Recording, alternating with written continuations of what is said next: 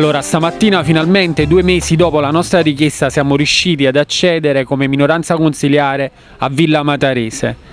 Abbiamo sicuramente sia delle buone notizie sia delle cattive notizie per i cittadini. Tra le buone notizie, una già la sapevamo, sicuramente Villa Matarese è di grande pregio, è una struttura assolutamente capace di creare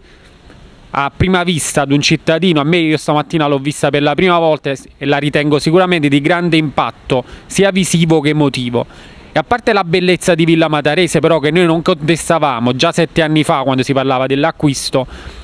noi parlavamo cosa si vuol fare di Villa Matarese e soprattutto il costo che sarebbe gravato sulle spalle dei cittadini, questi famosi 4 milioni di euro che ad oggi ancora stiamo pagando.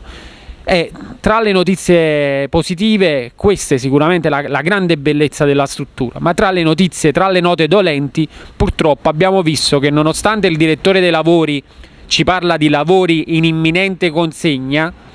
ci sono ancora dei piani,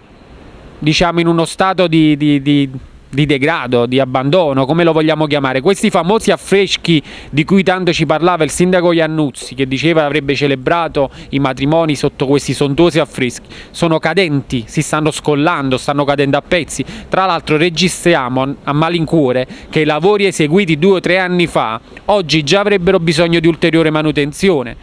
quindi a breve posteremo su internet col nostro profilo Facebook Svolta Popolare, ma sicuramente le, le daremo anche agli amici di montediprocida.com delle foto che riprendono il bello e il brutto di Villa Matarese, perché poi con onestà intellettuale bisogna dirlo che sicuramente è una struttura che lascia bocca aperta, però è anche sicuro che questi lavori che diciamo dopo sette anni ci avrebbero dovuto dare qualcosa alla cittadinanza profondamente vessata dalle tasse per pagare Villa Matarese, oggi ancora non abbiamo nulla. E non lo sappiamo noi, la nostra azione è stata d'impulso perché oggi abbiamo visto delle persone dopo mesi che lavoravano, che pulivano a terra e abbiamo smosso di nuovo gli ingranaggi comunali, quindi di questo siamo fieri, però non, non, riusciamo ad oggi a dare una data sicura, tra 15 giorni, tra due mesi, tra tre mesi, tra sei mesi, io penso che questo non lo possiamo fare né noi né tantomeno l'amministrazione comunale.